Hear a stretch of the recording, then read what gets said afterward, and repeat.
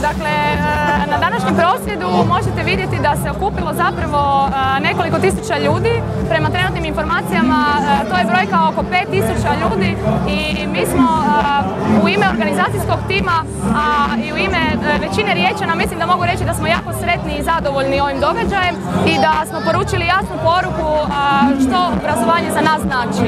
U proteklih 16 mjeseci koliko traje kurikulum i rad na njemu, Nazivali su nas svakakvim imenima, ali danas smo dobili jedno nevjerojatno novo ime. I mi koji smo radili na reformi, ali i svi vi ovdje danas. Mi smo danas luzeri.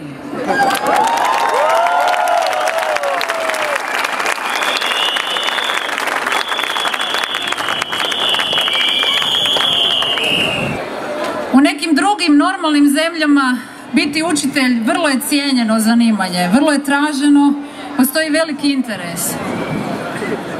Kod nas to baš i nije tako. Mi smo jedina struka koja krade iz vlastitih domova nastavni materijal kako bi ga donijela na svoja radna mjesta.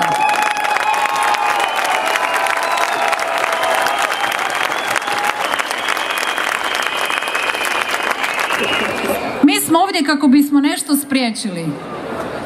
Želimo spriječiti da jednoga dana naša djeca uđu u kuću i kažu Mama, tata, napravio sam IQ test i on je negativan. Želimo spriječiti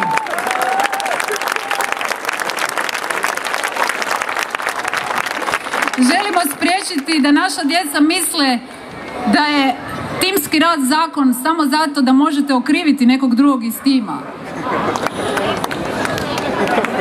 A pogotovo želimo spriječiti da jednoga dana naša djeca za ovakva okupljanja, za ovakve prosvjede, za ovakve podrške misle da su fešta, a za nas misle da smo luzeri.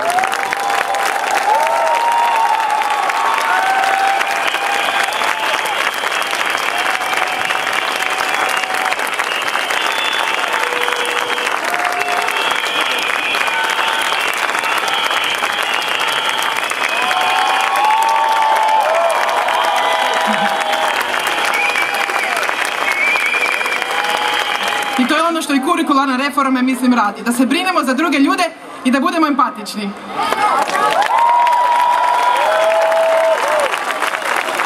I na kraju, eh, ja bih prije svega htjela reći hvala mojoj učiteljici vlasti, hvala mojim razrednicama, hvala mojim profesoricama i profesorima, hvala svima što su me naučili nečem i eto sad mogu vama valjda dvije suvisle riječi reći.